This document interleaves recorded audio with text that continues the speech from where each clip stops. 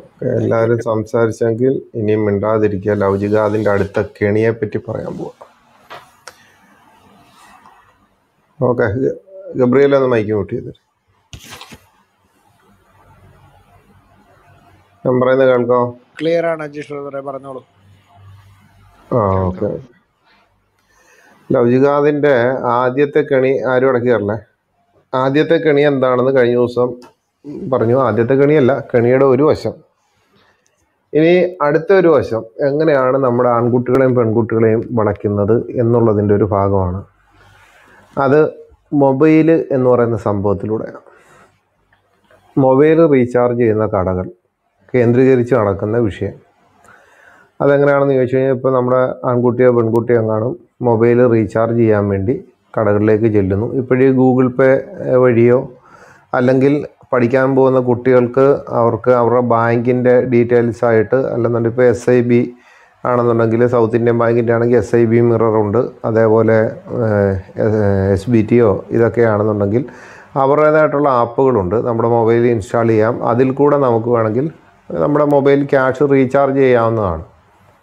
അത് ചെയ്യാൻ മടിയുള്ള ആൾക്കാരും ബാക്കിയുള്ളതെല്ലാം ചെയ്യുന്ന നമ്മുടെ കുട്ടികളൊക്കെ തന്നെ ആദ്യകാലങ്ങളിൽ ഈ ആപ്പുകളൊക്കെ വരുന്നതിന് മുമ്പുള്ള ചില തന്ത്രങ്ങളായിട്ടുള്ള പരിപാടികൾ. കടകളിൽ ചെന്നിട്ട് നമ്മൾ ബുക്കിൽ നമ്പർ എഴുതി കൊടുക്കും. ആ നമ്പർ വെച്ചിട്ട് നമ്മളൊരു നൂറ് രൂപയ്ക്ക് നൂറ്റമ്പത് രൂപയ്ക്കൊക്കെ ചാർജ് ചെയ്യും. അപ്പോൾ അത് ചാർജ് ചെയ്യുന്ന ഒരു മാസത്തേക്കായിരിക്കും. അങ്ങനെയുള്ളൊരു ഇത് കഴിയുന്ന ആ സമയത്ത് തന്നെ ഒരു മാസത്തേക്കാണെന്ന് അറിയാമല്ലോ. ഇരുപത്തിരണ്ട് ദിവസം അല്ലെങ്കിൽ ഇരുപത്തെട്ട് ദിവസം.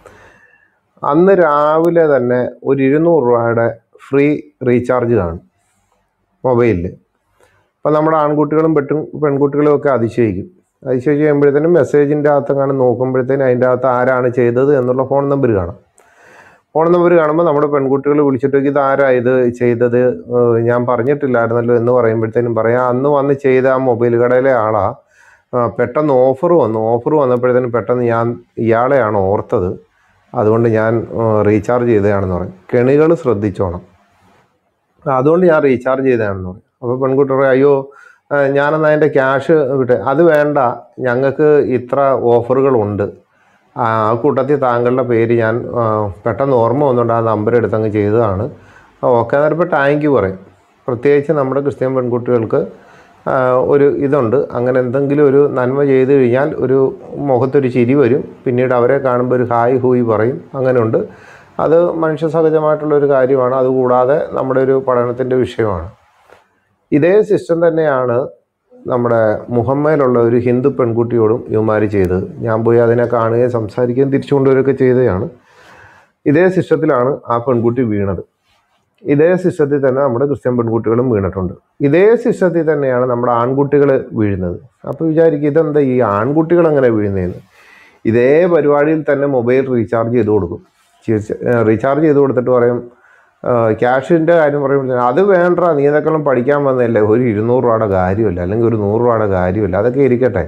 നമ്മുടെ ആൺകുട്ടികൾക്കാണെങ്കിൽ ഇരുന്നൂറ് രൂപ എന്ന് വെച്ചാൽ അൽഫാമും മറ്റുള്ള കഴിക്കുക അല്ലെന്നുണ്ടെങ്കിൽ ഏതൊരു വിഭാഗത്തിൽപ്പെട്ടതാണെങ്കിലും ഭക്ഷണം കഴിക്കുക അല്ലെങ്കിൽ മറ്റുള്ള കാര്യങ്ങൾക്ക് അവർക്ക് പ്രയോജനപ്പെടും. അപ്പോൾ ഈ ഒരു സിസ്റ്റത്തിലൂടെ എന്തു ചെയ്യും? പതുക്കെ ഇവർ ചെയ്യുന്ന പരിപാടിയാണ്. ഇങ്ങനൊരു കണക്ഷൻ ഉണ്ടാക്കിയെടുക്കുക. അപ്പോൾ നമ്മൾ സ്വാഭാവികമായിട്ട് ഇരുന്നൂറ് രൂപയ്ക്ക് റീചാർജ് ചെയ്ത കടയല്ല? ഇനി അവിടെ തന്നെ പോകാം. ആ ഒരു ചിന്തയിലേക്ക് വരും. അവിടെ ഒരു കണക്ഷൻ അവിടെ രൂപീകരിക്കുകയാണ്. അങ്ങനെ ആ പെൺകുട്ടി ഈ ചെറുക്കനുമായിട്ടുള്ള ബന്ധം സ്ഥാപിക്കുന്നു. അപ്പുറത്ത് ആൺകുട്ടികളെ വളയ്ക്കുന്നത് എങ്ങനെയാണെന്ന് വെച്ച് കഴിഞ്ഞാൽ പിന്നെ ആ കടക്കാരനുമായിട്ട് സ്ഥിരം കമ്പനി ആവുന്നു. കടയിൽ പോയി ഇരിക്കുന്നു. സംസാരിക്കുന്നു ഓരോ കാര്യങ്ങൾ ഇങ്ങനെ ചെഞ്ഞെടുക്കുന്നു അതിലൂടെ എന്തു ചെയ്യും? ഒരു കണക്ഷൻ ഈ കടക്കാരൻ മുഖാന്തരം അല്ലെങ്കിൽ ഈ ചെറുക്കൻ മുഖാന്തരം ഒരു കണക്ഷൻ അപ്പുറത്തുണ്ടാക്കിയെടുക്കും. ഇപ്പം ഞങ്ങളുടെ മോ എന്റെ കൊച്ചാപ്പാടെ മൂത്താപ്പാടെ ആ ഒരു രീതിയിലേക്ക് തിരിച്ചു കൊണ്ടുവരും. ഇനി വേറൊരു കാര്യം. കഴിഞ്ഞ ദിവസം ഞാൻ പറഞ്ഞ ഈ വോയിസ് യൂട്യൂബിലും ഫേസ്ബുക്കിലും കേട്ടവരെല്ലാം എടുത്തിട്ടു. ഇട്ടതിന്റെ ഇടയിൽ ഫേസ്ബുക്കിൽ കിടക്കുന്ന ആ ഇതിന്റെ ലിങ്ക് ഞാനിപ്പം ഇവിടുത്തെ മോഡറേറ്റർമാർക്ക് തരാം. അവിടെ ഒന്ന് മുകളിലൊന്ന് പിൻ ചെയ്തേക്കണം. പിൻ ചെയ്യുമ്പോഴത്തേനും നിങ്ങൾക്ക് കാണാം ക്ലബ് ഹൗസിലെ നിറസാന്നിധ്യമായ നിസു ആണ് അവിടെ വന്നിട്ട് ഈ വിഷയത്തിന്മേൽ കിടന്നുകൊണ്ട് ഭയങ്കര ബഹളം. ഭയങ്കര ബഹളം എന്ന് വെച്ച് കഴിഞ്ഞാൽ പുള്ളി അങ്ങ് തകർക്കുകയാണ്. അവിടെ വന്ന് എഴുതിയിട്ടിരിക്കുന്നത് സാക്ഷിയുടെ എന്തോ തീവ്രവാദി അജീഷും മറ്റേ നസ്രൈനോടാണ് ഈ പരിപാടി ചെയ്യുന്നതെന്നൊക്കെ പറഞ്ഞുകൊണ്ടാണ് വന്ന് ഇത് ചെയ്യുന്നത്. വാരുടെ ബാക്ക് ചാനലിൽ ഞാൻ അതിന്റെ ലിങ്ക് ഇട്ടിട്ടുണ്ട്. ഒന്ന് കയറി നിങ്ങൾ നോക്കിയാൽ മതി. ഒന്ന് കയറി നോക്കിയാൽ മതി. അതിന്റെ അകത്ത് നിങ്ങൾ അതുവഴി കയറി നോക്കുമ്പോൾ അതിന്റെ അകത്ത് കമന്റ് കാണാം. മുകളിലൊന്ന് പിൻ ചെയ്ത് തരും അതിപ്പോൾ ഇതിന്റെ അകത്ത് കാണാം. അവിടെ നിസു പറയുന്ന ഒരു കാര്യം കമന്റിൽ പറയുന്ന ഒരു കാര്യമുണ്ട്. ഇത് സാക്ഷിയുടെ തീവ്രവാദി അജീഷും മതം മാറ്റ സ്പെഷ്യലിസ്റ്റ് നസ്രേൻ എന്ന സ്റ്റാനുവാണെന്ന് പറയുന്നുണ്ട്. അപ്പം അതിനകത്ത് നമ്മുടെ സഹോദരന്മാർ കുറച്ച് പേര് വന്നിട്ട് ഇതിനെപ്പറ്റി ചോദിക്കുന്നുണ്ട്.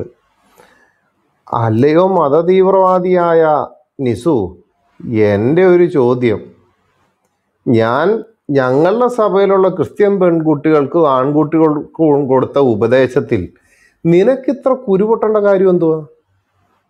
ഏ? നിന്റെ പേര് പറയാത്തത് കൊണ്ടായിരുന്നു? നിന്റെ പേര് പറയത്തില്ല. മനസ്സിലായോ? നിന്റെ പേര് പറയേണ്ട കാര്യമില്ല. കാരണം പറയാതെ തന്നെ കോഴി കട്ടവന്റെ തലയിൽ പൂടെ ഉണ്ടെന്ന് പറഞ്ഞ അവസ്ഥയിലാണ് ഇപ്പം നീ. അതുകൊണ്ട് ഇനി നിന്റെ പേര് ഞാൻ പറഞ്ഞില്ല. പക്ഷേ ഇത് മുസ്ലിങ്ങളായിട്ടുള്ളവർക്ക് കയറി കൊള്ളുന്നുണ്ട്. അതെന്താണ് അങ്ങനെ വരുന്നത്? അന്നേരപ്പം ഞാൻ പറയുന്ന കാര്യത്തിന്മേൽ ഇതുപോലുള്ള പ്രവർത്തനങ്ങൾ നടക്കുന്നുണ്ട് ഇവരുടെയിൽ എന്നുള്ളതിന്റെ സത്യാവസ്ഥയല്ലേ ഇത്? ഇല്ലാന്നുണ്ടെങ്കിൽ ഞങ്ങളുടെ ഇടയിൽ ഈ പ്രവർത്തനം നടക്കുന്നില്ല എന്ന് പറയുകയോ അല്ലെന്നുണ്ടെങ്കിൽ കാണാതെ പോയാൽ പോരെ. എന്തിനാ അപ്പോൾ തന്നെ കയറി പ്രതികരിക്കേണ്ട കാര്യം? മനസ്സിലായോ? അപ്പോൾ ഇനി വേറൊരു കാര്യം കൂടെ പറയാം. എന്റെ എന്നെ കേൾക്കുന്ന സഹോദരങ്ങളെ ഇത് ഈ ഞാൻ ഇന്നോ ഇന്നലെ തുടങ്ങിയ പരിപാടിയല്ല. ഞാൻ രണ്ടായിരത്തി പന്ത്രണ്ട് മുതൽ ഈ മേഖലയിൽ ഈ ഇങ്ങനെ പോകാൻ നിൽക്കുന്നവരെ തിരിച്ചു കൊണ്ടുവരുന്നുണ്ട്. ഈ വിഷയത്തിൽ രണ്ടായിരത്തി എട്ട് മുതലുള്ള അറിവും കാര്യങ്ങളുമായിട്ട് പോകുന്നുണ്ട്. പൂർണമായിട്ടും രണ്ടായിരത്തി പതിനാറിന് ശേഷമാണ് പൂർണമായിട്ട് ഈ ശുശ്രൂഷയിൽ സ്ഥിരമാകുന്നത്. ബാക്കി ഭാഗികമായിരുന്നു.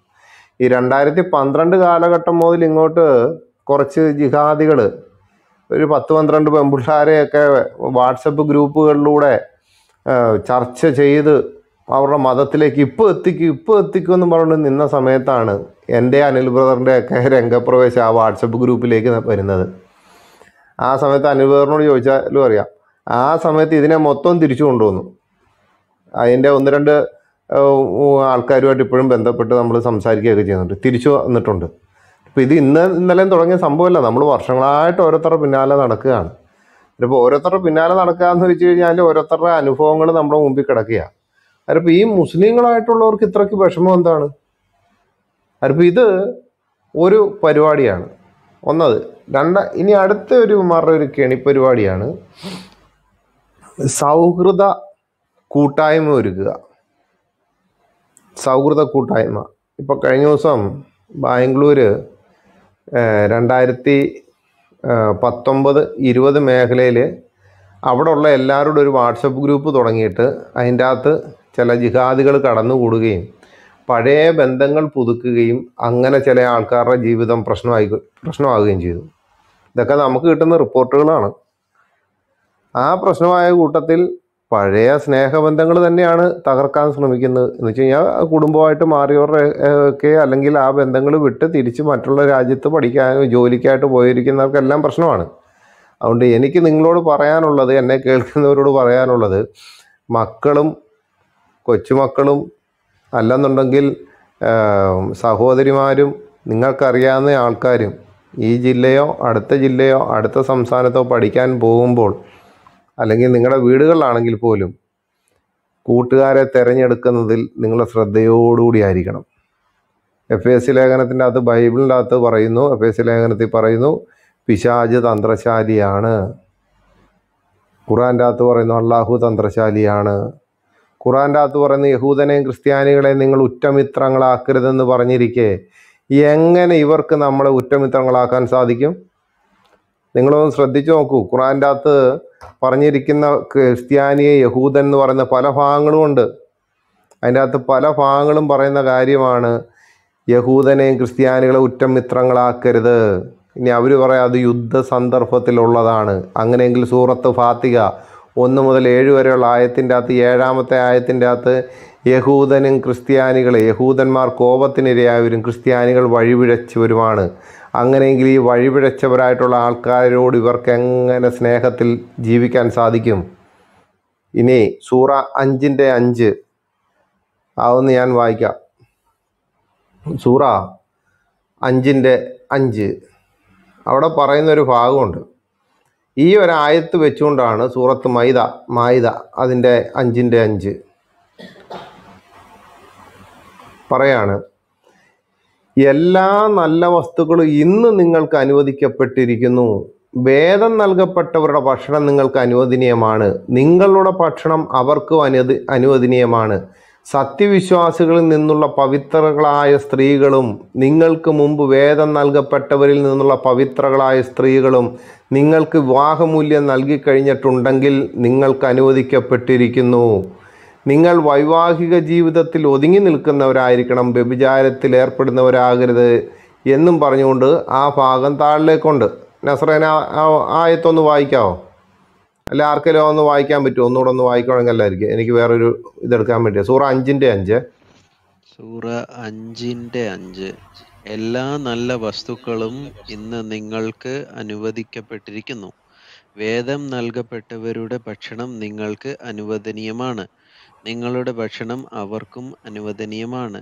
സത്യവിശ്വാസിനികളിൽ നിങ്ങളുള്ള നിന്നുള്ള പതിവ്രതകളായ സ്ത്രീകളും നിങ്ങൾക്ക് മുമ്പ് വേദം നൽകപ്പെട്ടവരിൽ നിന്നും പതിവ്രതകളായ സ്ത്രീകളും നിങ്ങൾ നിങ്ങളെ നിങ്ങൾ അവർക്ക് വിവാഹമൂല്യം നൽകി കഴിഞ്ഞിട്ടുണ്ടെങ്കിൽ നിങ്ങൾ വിവാഹ വൈവാഹിക ജീവിതത്തിൽ ഒതുങ്ങി നിൽക്കുന്നവരായിരിക്കണം. വ്യഭിചാരത്തിൽ ഏർപ്പെടുന്നവരാകരുത്. രഹസ്യ വേഴ്ചക്കാരെ എന്താ ചെയ്യുക? കരിക്കുന്നവരമാകരുത്. സത്യവിശ്വാസത്തെ ആരെങ്കിലും തള്ളിക്കളയുന്നു കളയുന്ന പക്ഷം അവന്റെ കർമ്മ ഫലമായി കഴിഞ്ഞു. പല. പരലോകത്ത് അവൻ നഷ് നഷ്ടം പറ്റിയവരുടെ കൂട്ടത്തിലുമായിരിക്കുകയും ചെയ്യും. ഇടയ്ക്കിടയ്ക്ക് ഈ സൈഡിലത്തെ ഭാഗം കട്ടായി പോകുന്നുണ്ട്. ഞാൻ പറയുന്നത് ക്ലിയർ ആവുന്നുണ്ടല്ലോ. കേൾക്കാമല്ലോ. കേൾക്കാം കേൾക്കാം. അപ്പം ഓക്കെ. അതിപ്പോൾ ഇവിടെ പറയുന്ന ഒരു കാര്യമുണ്ട് സൂറ അഞ്ചിന്റെ അഞ്ച് വെച്ച് ഇവന്മാർ പറയുന്ന ഒരു കാര്യമാണ്. ഇന്ന് എല്ലാ നല്ല വസ്തുക്കളും നിങ്ങൾക്ക് അനുവദിച്ച ആ കൂട്ടത്തിൽ വേദക്കാരികളായിട്ടുള്ള സ്ത്രീകളെ വിവാഹം ചെയ്യാം എന്ന് പറയുന്നുണ്ട്. ഇനി അതിന്റെ അകത്ത് ഇമാൻ റാസിയുടെ തഫ്സീറിന്റെ അകത്ത് പറഞ്ഞിരിക്കുന്ന ഒരു കാര്യമുണ്ട്. അത് ഇതിന്റെ അകത്ത് പറഞ്ഞിരിക്കുന്നത് വേഗം വേദം നൽകപ്പെട്ട ഒരു ആ ഇതിന്റെ അകത്ത് പറഞ്ഞിരിക്കുന്നത് എങ്ങനെയാണ് ഇമാൻ റാസിയുടെ തഫ്സീറിന്റെ അകത്തുള്ള വായിക്കാം ഇന്ന് എല്ലാ നല്ല വസ്തുക്കളും നിങ്ങൾക്ക് അനുവദിച്ചിരിക്കുന്നു. വേദം ലഭിച്ചവരുടെ ഭക്ഷണം നിങ്ങൾക്കും നിങ്ങളുടെ ഭക്ഷണം അവർക്കും അനുവദനീയമാണ്. സത്യവിശ്വാസിനികളായ പവിത്രകളെയും പവിത്രകളെയും പവിത്രകളെയും മുമ്പ് വേദം ലഭിച്ചിരിക്കുന്നവരുള്ള ലഭിച്ചവരിലുള്ള പവിത്രകളെയും അവർക്കുള്ള മഹർ നൽകിയാൽ വിവാഹം ചെയ്യാൻ നിങ്ങളെ അനുവദിച്ചിരിക്കുന്നു. അനു നിങ്ങൾ ചാരിത്രം പരിരക്ഷിക്കാൻ ഉദ്ദേശിക്കുന്നവരാകുകയും വ്യഭിചാരികളോ കാമുകന്മാരോ കാമുകിമാരെ വ്യഭിചാരികളോ കാമുകിമാരെ സ്വീകരിക്കാത്തവരോ ആയിരിക്കുകയും വേണം. ആര് സത്യവിശ്വാസത്തെ നിഷേധിക്കുന്നു? അവരുടെ പ്രവർത്തനങ്ങൾ പൊളിഞ്ഞടി പൊളിഞ്ഞടിഞ്ഞു. പരലോകത്ത് അവർ പരാജിതരിൽപ്പെട്ടവരാകും. എന്നിട്ട് ഇവിടെ പറയുന്ന കാര്യമുണ്ട്. ആ, സ്ത്രീകളെ കഴിക്കാമെന്ന്. പക്ഷെ എന്നാൽ ഈ സൂറ അഞ്ചിന്റെ അഞ്ച് വെച്ചുകൊണ്ട് പണ്ഡിതന്മാരുടെ അഭിപ്രായം ഇബിനു ഉമർ പറയുന്നതാണ് എന്താണെന്നറിയാവോ? ഇബിനു ഉമർ പറയുകയാണ് യേശുവാണ് തന്റെ കർത്താവെന്ന് പറയുന്നതിനേക്കാൾ വലിയ ബഹുഭാരിത്വം ഏതാണെന്നറിയില്ല. എന്നിട്ട് സൂറത്ത് ബക്ര ഇരുന്നൂറ്റി ഇരുപത്തി ഒന്നാമത്തെ സൂത്രം സൂക്തം വെച്ചുകൊണ്ടാണ് ഇബിനു ഉമർ പറയുന്നത് യേശുവാണ് തന്റെ കർത്താവ് എന്ന് പറയുന്നതിനേക്കാൾ വലിയ ബഹു ദൈവത്വം ഏതാണെന്ന് അറിയില്ല എന്ന് പറഞ്ഞിരിക്കുന്നത്. ഇനി നസ്രേനെ ഞാനേ മെസ്സേജ് ഒന്ന് നോക്കണേ. മെസ്സേജ് ഒന്ന് നോക്കി. ഞാൻ ഒരാളുടെ പേര് മലയാളത്തിൽ അങ്ങോട്ട് വിടുന്നുണ്ട്. അദ്ദേഹം ജീവിച്ചിരുന്ന കാലഘട്ടം ഏതാണെന്ന് ഒന്ന് പറഞ്ഞു തരുവാണെങ്കിൽ നല്ലതായിരിക്കും. കിട്ടിയോ? ഒരു ഇസ്ലാമിക പണ്ഡിതനാണ്. കിട്ടി. പക്ഷെ മുഴുവൻ മുഴുവൻ പേരും അതെ മുഴുവൻ പേരില്ലേ? ഇല്ല ഇല്ല അത്രേ വന്നിട്ടുള്ളൂ. അദ്ദേഹം പറഞ്ഞിരിക്കുകയാണ് ബിന ബിന അങ്ങനെങ്ങാണ്ടാണ് പേര്. അദ്ദേഹം പറഞ്ഞിരിക്കുന്ന കാര്യം എന്താണെന്നറിയോ? ഈ രണ്ടായിരത്തി ഇരുപതിലോ രണ്ടായിരത്തിലോ അല്ലെങ്കിൽ തൊണ്ണൂറ്റി ഒമ്പതിലോ ജീവിച്ചിരുന്ന ഒരു പണ്ഡിതനല്ല ഈ പണ്ഡിതൻ. ഇദ്ദേഹം പറഞ്ഞ എങ്ങനെയാണെന്നറിയോ? വേദക്കാരികളെ വിവാഹം ചെയ്യാനുള്ള അനുമതി അക്കാലത്തേക്ക് മാത്രം പരിമിതമായി ഉള്ളത് ആയിരുന്നു. മുസ്ലിം സ്ത്രീകളുടെ കുറവായിരുന്നു കാരണം ഇപ്പോൾ മുസ്ലിം സ്ത്രീകൾ ധാരാളമുള്ളതിനാൽ ഇതിന്റെ ആവശ്യം അവശേഷിക്കുന്നില്ല. അതിനാൽ തന്നെ ഇപ്പോൾ ഇളവില്ലെന്ന് തീർച്ച. ഇന്ന് ഈ രണ്ടായിരത്തിലോ രണ്ടായിരത്തി ഇരുപത്തിരണ്ടിലോ ഇറക്കിയ ആ സമയത്ത് ജീവിച്ചിരുന്ന അല്ലെന്നുണ്ടെങ്കിൽ തൊണ്ണൂറിൽ കാലങ്ങളിലോ ജീവിച്ചിരുന്ന ഒരു പണ്ഡിതനല്ലിത് ഈ പണ്ഡിതൻ പറഞ്ഞിരിക്കുന്നത് വേദക്കാരികളെ വിവാഹം ചെയ്യാനുള്ള അനുമതി അക്കാലത്തേക്ക് മാത്രം പരിമിതമായിരുന്നു. വെച്ചാൽ ഇസ്ലാമിന്റെ വളർച്ചയുടെ കാലഘട്ടത്തിൽ മാത്രം പരിമിതമായുള്ളതായിരുന്നു. മുസ്ലിം സ്ത്രീകളുടെ കുറവായിരുന്നു കാരണം ഇപ്പോൾ മുസ്ലിം സ്ത്രീകൾ ധാരാളമുള്ളതിനാൽ അതിന്റെ ആവശ്യം അവശേഷിക്കുന്നില്ല. അതിനാൽ തന്നെ ഇപ്പോൾ ഇളവില്ലെന്ന് തീർച്ച. എങ്ങനുണ്ട്? ഇളവില്ല. ഇനി അടുത്ത ഒരാൾ പറയാണ്. ജിസ്യ നൽകുന്നവർ അനുവദനീയം അല്ലാത്തവരല്ല. ഇത് പറഞ്ഞിരിക്കുന്നത് ഇബിനു അബ്ബാസ്. ഇബിനു അബ്ബാസ് പറയുകയാണ് ജിസ്യ നൽകുന്നവർ അനുവദനീയമാണ് അല്ലാത്തവരല്ല. ഇനി ഞാൻ ഒരു കാര്യം ചോദിക്കട്ടെ പ്രിയ സഹോദരങ്ങളെ.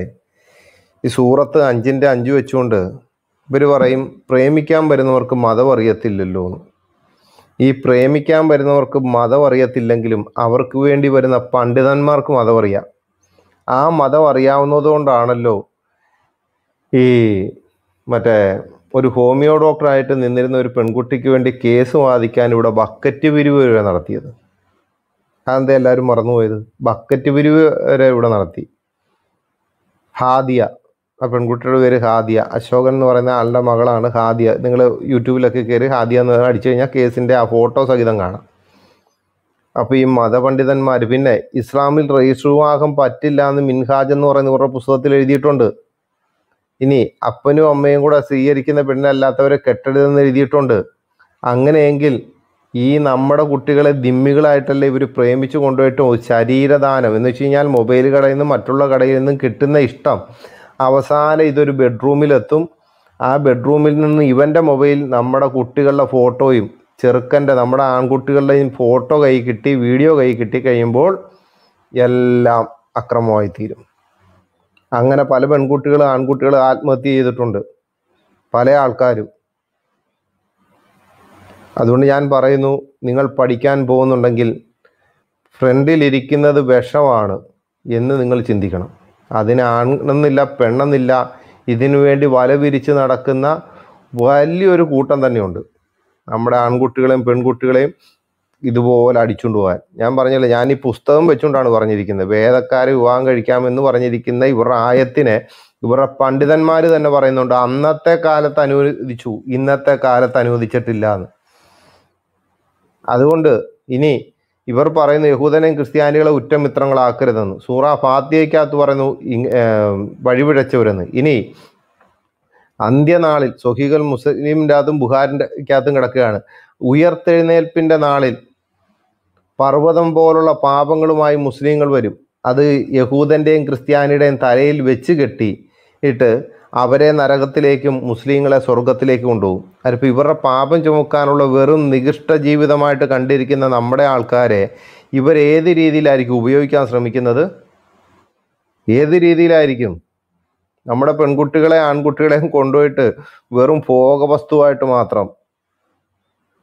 വേറൊരു ഹദീസിന്റെ അകത്ത് പറയുകയാണ് മുസ്ലിമിന്റെ അകത്ത് കിടക്കുന്നതാണ്. അതിന്റെ അകത്ത് പറയുകയാണ് ഉയർത്തെഴുന്നേൽപ്പിന്റെ പുനരുത്ഥാന നാളിൽ മുസ്ലിങ്ങൾക്ക് ഓരോ മുസ്ലിമിന് പകരവും യഹൂദനെയും ക്രിസ്ത്യാനിയെ നരകത്തിലേക്ക് തള്ളും. തള്ളിയിട്ട് മുസ്ലിമിനെ സ്വർഗത്തിലേക്ക് എത്തും ഇവന്റെ പാപം ചുമക്കാനുള്ളവരാണ് യഹൂദനും ക്രിസ്ത്യാനികളും. ഇനി ഇവിടുന്ന് പോകുന്നുണ്ടല്ലോ. ഇവിടുന്ന് അങ്ങോട്ട് പോയിട്ടുള്ള ക്രിസ്ത്യാനികളായിട്ടുള്ള ക്രിസ്ത്യാനികളായിട്ടുള്ളവരും അങ്ങോട്ട് പോയിട്ടുണ്ടല്ലോ. മതം മാറി പോയിട്ടുണ്ടല്ലോ.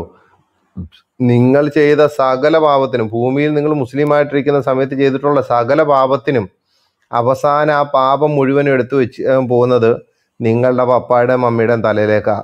നിങ്ങളുടെ സഹോദരന്റെ തലയിലേക്കാ സഹോദരിയുടെ തലയിലേക്കാ. ചെന്ന് വീണിട്ട് അത് അബദ്ധ കേന്ദ്രമാണെന്ന് നിങ്ങൾക്കിപ്പോൾ തോന്നി തുടങ്ങിയിട്ടുണ്ട് ഞാൻ പറയുന്നു നിങ്ങളെ രക്ഷിക്കാൻ മുഹമ്മദിന് സാധിക്കത്തില്ല. മുഹമ്മദ് അവർക്ക് രക്ഷകനായിട്ട് വന്നിട്ടില്ല. മുഹമ്മദ് അവരെ നശിപ്പിക്കാൻ വലിയൊരു സമൂഹത്തെ നശിപ്പിച്ചിട്ട് മാത്രമേ ഉള്ളൂ. ആകാശത്തിന് കീഴിൽ ഭൂമിക്ക് മുകളിൽ രക്ഷിക്കപ്പെടുവാൻ ഏകനാമം കർത്താവായ യേശുക്രിസ്തു അല്ല വേറെ ഒന്നുമില്ല. നിങ്ങളുടെ കുടുംബജീവിതത്തിൽ നിങ്ങളുടെ വിശ്വാസ ജീവിതത്തിൽ നിങ്ങളുടെ വ്യക്തിപരമായ ജീവിതത്തിൽ നിങ്ങൾ ക്രിസ്തുവിനെ മുൻനിർത്തി പോവുക. കാരണം വരും കാലങ്ങളിൽ നിങ്ങൾ പഠിക്കാനുള്ള പല സ്ഥലങ്ങളിലേക്ക് പോകും. നിങ്ങളുടെ മക്കൾ പഠിക്കാൻ പോകുന്നുണ്ട് നിങ്ങളുടെ സഹോദരിമാർ പഠിക്കാൻ പോകുന്നുണ്ട് നിങ്ങളുടെ സഭയിൽ നിന്ന് പഠിക്കാൻ പോകുന്നുണ്ട് ഓരോ കാര്യങ്ങളുണ്ട്. ഇനി ഒരു ഉപദേശവും കൂടെ ഞാൻ പറയുകയാണ്. ഈ സ്ഥലത്ത് പഠിക്കാൻ പോകുന്ന ഏത് ജില്ലയിലും നിങ്ങളുടെ വീട് വിട്ട് പതിനഞ്ച് വയസ്സ് വരെ പതിനാറ് വയസ്സ് വരെ നിങ്ങളുടെ കുട്ടികൾ നിങ്ങളുടെ കൂട്ടത്തിലുണ്ട്. മനസ്സിലായോ? പതിനാറ് വയസ്സിന് ശേഷം അവർ പഠിക്കാൻ പോകുന്ന വേറൊരു സ്ഥലമാണ്. ആ സ്ഥലത്ത് എന്തൊക്കെ ചതിക്കുഴികളുണ്ടെന്ന് അറിയാൻ പറ്റത്തില്ല. സഭയിൽ നിന്ന് ഏത് സഭയായിക്കോട്ടെ ആ സഭയിൽ പരസ്പര ചോദ്യപ്രതിവാദം ഒരിക്കലും ഉണ്ടാകുന്നില്ല. യേശു ദൈവമാണെന്ന് വിശ്വസിക്കുന്നവരെല്ലാവരും ഒരുമിച്ചിരിക്കുന്നു. ബൈബിൾ ദൈവികമാണെന്ന് വിശ്വസിച്ചിരിക്കുന്ന എല്ലാവരും ഒരുമിച്ചിരിക്കുന്നു. അതുപോലെ തന്നെയാണ് ഓരോ കാര്യങ്ങളും വിശ്വസിച്ചിരിക്കുന്നവർ ഒരു കൂട്ടമാണ് സഭയ്ക്കാവെന്ന് പറയുന്നത്. എന്നാൽ സഭയ്ക്കകത്തു നിന്ന് നമ്മുടെ വീട്ടിൽ നിന്നും അടുത്ത സ്ഥലത്തേക്ക് പഠിക്കാൻ പോകുന്ന ആൺകുട്ടികളും പെൺകുട്ടികളും ഉണ്ടായിരിക്കെ അവിടെ ചെല്ലുമ്പോൾ സംശയം ഉളവാക്കുന്ന തന്ത്രശാലികളായിട്ടുള്ള ആൾക്കാർ വന്ന് ചോദിക്കും യേശു ദൈവമാണെന്ന് ബൈബിളിൽ എവിടെയെങ്കിലും നേരിട്ട് പറഞ്ഞിട്ടുണ്ടോ? ബൈബിൾ ദൈവികമാണെന്ന് ബൈബിൾ പറഞ്ഞിട്ടുണ്ടോ? നിങ്ങൾ വിശ്വസിക്കുന്ന വിശ്വാസം സത്യമാണെന്ന് ബൈബിൾ പറഞ്ഞിട്ടുണ്ട്. ഈ ചോദ്യങ്ങൾ സഭയ്ക്കകത്ത് ആരും കേൾക്കുന്നില്ല. എല്ലാം വിശ്വാസത്തിന് നായനും പൂർത്തി വരുത്തനും ക്രിസ്തുവിന്റെ കാര്യങ്ങളെപ്പറ്റി ശരിക്കും പ്രസംഗിച്ച് കാര്യങ്ങൾ പോകുന്നതല്ലാതെ അതിന് മുമ്പുള്ള കാര്യങ്ങൾ നടക്കുന്നില്ല. ഇതുപോലുള്ള ചോദ്യം. അതുകൊണ്ട് നമ്മുടെ കുട്ടികൾ അവിടെ ചെല്ലുമ്പോൾ ഇതുപോലുള്ള തന്ത്രപരമായിട്ടുള്ള ചോദ്യങ്ങളുമായിട്ട് പോരും.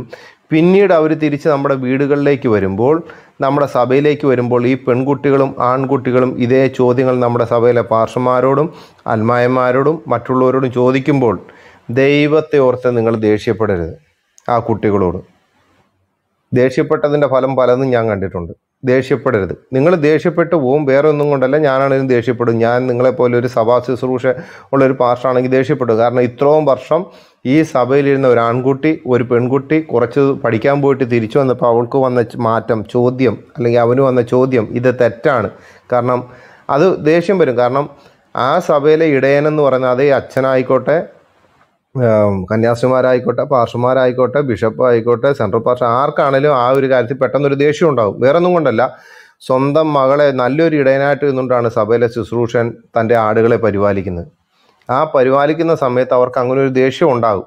പക്ഷേ ദൈവമക്കളെ നിങ്ങളുടെ ഉള്ളിൽ ഇതുപോലെ മറ്റുള്ളവൻ ശത്രു ഒരു സംശയം ഇട്ടിട്ട് പാർശ്വ ദേഷ്യപ്പെട്ടു എന്നും പറഞ്ഞുകൊണ്ട് പോകരുത്. അദ്ദേഹം ദേഷ്യപ്പെട്ടുകൊണ്ട് പെട്ടെന്ന് ചൂടാകും. അത് ഞാനാണെങ്കിലും ചിലപ്പോൾ അങ്ങനെ ചെയ്തു പോകും. പക്ഷേ ഒരു കാര്യം നിങ്ങൾ ഒരു ദിവസം കഴിഞ്ഞിട്ടാണെങ്കിലും പിന്നെ അവിടെ ചെല്ലണം. ചെന്നിട്ട് പറയണം ഇന്ന പോലെ എനിക്കൊരു പ്രശ്നമുണ്ട്. എനിക്കിതിനൊരു മറുപടി കിട്ടണം. എന്ന് നിങ്ങൾ ചോദിക്കണം.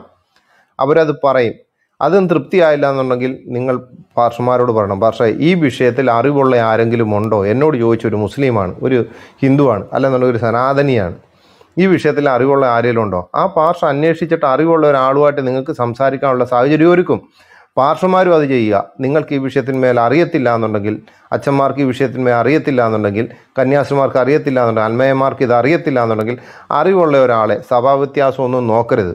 നമ്മുടെ കൊച്ചു പോയി കഴിഞ്ഞാൽ പിന്നെ കിട്ടത്തില്ല. സഭാവ്യത്യാസം ഒന്നും നോക്കരുത്. നിങ്ങൾ എന്ത് ചെയ്യണം?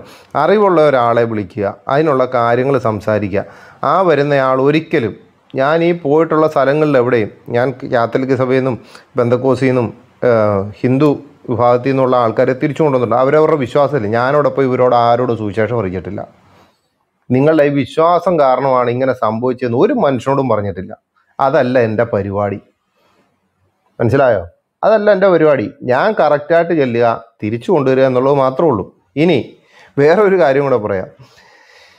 ഇസ്ലാമിന്റെ പുസ്തകങ്ങൾ വായിച്ചതിന്റെ വിമർശനത്തിലോ ഹദീസുകൾ വായിച്ചതിന്റെ വിമർശനത്തിലോ ആയിരിക്കത്തില്ല എന്റെ തല കൊയ്യുന്നത് എന്റെ തല കൊയ്യുന്നത് ഇതുപോലുള്ള പോയിട്ടുള്ള ആൾക്കാരെ തിരിച്ചു കൊണ്ടുവന്നതിന്റെ പേരിലായിരിക്കും. ഇനി എന്റെ തല കൊയ്യാൻ വേണ്ടി അതിനു മുൻപന്തി നിൽക്കുന്നത് എന്നെയും എന്റെ ശുശ്രൂഷയും ഞങ്ങളെപ്പോലുള്ള ആൾക്കാരുടെ ശുശ്രൂഷയും വിമർശിക്കുന്ന ആൾക്കാർ തന്നെയായിരിക്കും ഈ തല കൊയ്യാൻ വേണ്ടി അവർക്കൊത്താശ ഇട്ട് കൊടുക്കുന്നത്. കഴിഞ്ഞ ദിവസം ഞാൻ പോകുന്ന കാറിന്റെ നമ്പർ വരെ പറഞ്ഞു കൊടുത്തു. എന്റെ കാറിന്റെ നമ്പർ വരെ പറഞ്ഞു കൊടുത്തിട്ടുണ്ട്. അതുകൊണ്ട് ഇന്നലെ അനിൽ ബ്രദർ പറഞ്ഞ പോലെ ദൈവം എന്റെ മേൽ വെച്ചിരിക്കുന്ന ശുശ്രൂഷ എന്നിവിടെ തീരുന്നോ? അന്ന് കർത്താവ് തിരിച്ചു വിളിക്കും. ഇതിങ്ങനെയുള്ള സംഭവങ്ങൾ നടക്കുമെന്ന് എനിക്ക് പൂർണമായിട്ട് അറിവുള്ളതുകൊണ്ട് തന്നെയാണ് ഞാൻ ഈ ശുശ്രൂഷയൊക്കെ ഇറങ്ങിയിരിക്കുന്നത്.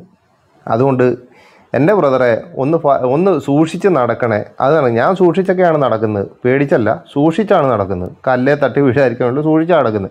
പക്ഷെ എന്നും പറഞ്ഞുകൊണ്ട് പേടിച്ച് നടക്കാനൊന്നും എന്നെ കൊണ്ട് പറ്റത്തില്ല. അതുകൊണ്ട് ഈ വിഷയത്തിന്മേൽ എന്റെ തല കൊയ്യുന്നുണ്ടെങ്കിൽ എന്റെ സഹോദരന്മാരെന്ന് പറയുന്ന ക്രിസ്ത്യൻ സഹോദരന്മാർ തന്നെയായിരിക്കും എന്നെ കാണിച്ചു കൊടുക്കുന്നതും ഒറ്റി കൊടുക്കുന്നതും എല്ലാം. പണ്ട് ഒന്നറിഞ്ഞ് രണ്ടാമത്തേന് ഞാൻ ചാടി ഇറങ്ങുമായിരുന്നു നിൽക്കുന്ന നിപ്പിലൊക്കെ പോയിട്ടുണ്ട്. പ്രാർത്ഥനാ ഗ്രൂപ്പ് ഉണ്ട് അതിന്റെ അകത്തൊരു ഇതേ ഇപ്പം കിട്ടിയ ന്യൂസാണ്. ഇപ്പം തന്നെ പോകാൻ നമ്മളിടും. ശരി ബ്രദറെ പൊക്കോ പ്രാർത്ഥിച്ചോ നമ്മൾ പ്രാർത്ഥിക്കാൻ നമ്മുടെ അനേക സൗരന്മാരുണ്ട് പക്ഷേ ഇപ്പോൾ എന്റെ കൂട്ടത്തിൽ നിന്നിരുന്ന ഞങ്ങളുടെ കൂട്ടത്തിൽ നിന്നിരുന്നവർ തന്നെ തിരിച്ചു കൊത്താൻ തുടങ്ങിയതുകൊണ്ട് എനിക്കൊരു വിഷയം വന്നാൽ ഞാൻ ഒന്നും രണ്ടും മൂന്നും നാലും ദിവസം ആ പരിസരത്ത് ഇന്ന പോലെ ഒരു വിഷയം നടന്നിട്ടുണ്ടോ എന്ന് രഹസ്യത്തിൽ അന്വേഷിച്ചിട്ട് അവിടെ ചെന്നതിന് ശേഷം മാത്രമായിരിക്കും ആ വീട്ടുകാരോട് പറയുന്നത് ഞാൻ ദൈവം ഇവിടെ എത്തിയിട്ടുണ്ടെന്ന്. നേരത്തെ ഞാൻ വിളിച്ചു പറഞ്ഞിട്ടില്ലായിരുന്നു കാരണം ചതിയന്മാരെന്റെ പിന്നാലെ ഉണ്ടെന്ന് എനിക്ക് മനസ്സിലായി. എന്നെ പൂട്ടാൻ എന്നെ ഒതുക്കാൻ ചതിയന്മാർ കൂട്ടത്തിൽ നിന്ന് സഹോദരാന്ന് വിളിച്ചവർ തന്നെ ഉണ്ടെന്ന് മനസ്സിലായതുകൊണ്ടാണ് ഇപ്പോൾ ശുശ്രൂഷയ്ക്ക് ഒരു മാറ്റം വരുത്തിയിരിക്കുന്നത്. ഇനി നമ്മുടെ സഭയിലേക്ക് വരുന്ന പെൺകുട്ടിയോട് ഇപ്പോൾ ഒരു ചോദ്യം. ഞാൻ നേരത്തെ പറഞ്ഞ ഒരു വിഷയത്തിന്മേൽ പെട്ടെന്ന് ഞാൻ നിർത്താം. നേരത്തെ പറഞ്ഞ വിഷയത്തിന്മേൽ ഞാൻ പറയുകയാണ് ഈ ബൈബിളിന്റെ താരം മനുഷ്യൻ മനുഷ്യപുത്രൻ എന്ന് ചോദിച്ചു വിടുന്ന ആൾക്കാരുണ്ടല്ലോ. അവർ ഈ സംശയങ്ങളുടെ ചോദ്യങ്ങൾ ചോദിച്ചിരിക്കുന്ന ആൺകുട്ടിയും പെൺകുട്ടിയും ഈ ഹോസ്റ്റലിൽ തന്നെയാണ് ജീവിക്കുന്നത്. നമ്മുടെ പെൺകുട്ടികളും ആൺകുട്ടികളും നാട്ടിൽ വന്ന് പാർഷനോടോ അച്ഛന്മാരോടോ അൽമായന്മാരോടോ സൺഡേ സ്കൂൾ അധ്യാപകരോടോ ഈ ചോദ്യം ചോദിച്ചിട്ട് അവർക്ക് മറുപടി കൊടുക്കാൻ പറ്റാത്ത സാഹചര്യത്തിൽ നമ്മുടെ കുട്ടികൾ തിരിച്ചവിടെ ചെല്ലുമ്പോൾ ഈ കോളേജിലേക്ക് ചെല്ലുമ്പോൾ അല്ലെങ്കിൽ അവളുടെ ജോലി സ്ഥലത്തേക്ക് ചെല്ലുമ്പോൾ ഇതേ ചോദ്യം ചോദിച്ച ആൾ അവിടെ ഇരിപ്പുണ്ട്. അവർ ചോദിക്കും ഞാൻ അന്ന് കുറച്ച് ചോദ്യങ്ങൾ ചോദിച്ചില്ലേ? നിങ്ങളുടെ സഭയിലെ പാർഷന്മാരോ അച്ഛന്മാരോ കന്യാസ്ത്രീമാരോ അന്മായന്മാരോ സഭയിലെ സൺഡേ സ്കൂൾ അധ്യാപകരോ ഇതിന് മറുപടി തന്നായിരുന്നോടാ? തന്നായിരുന്നോടി? തന്നില്ല. ഇപ്പം നിനക്ക് മനസ്സിലായോ? നിന്റെ വിശ്വാസം തെറ്റാണെന്ന്? അവർക്ക് പോലും മറുപടിയില്ല മനസ്സിലായോ? തന്ത്രമാണ് ഇത് കാണിക്കുന്നത്.